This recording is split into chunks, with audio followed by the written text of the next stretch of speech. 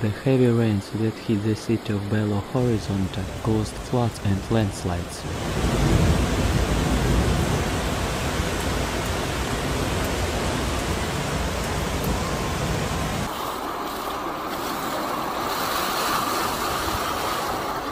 Flash flood dragged cars along avenues in the capital of Minas Gerais.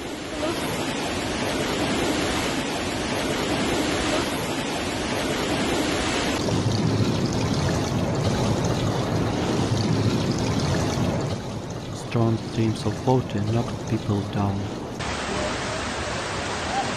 About a thousand cars were sunk.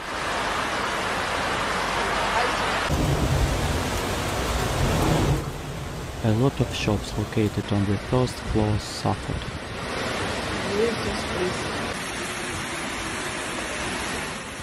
Three main roads in Belo Horizonte were completely flooded.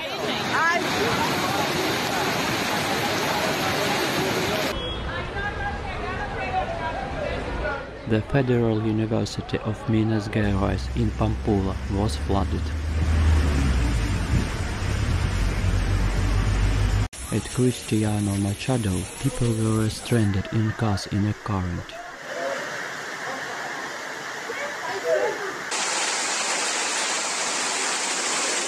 Santa Inês station was also flooded.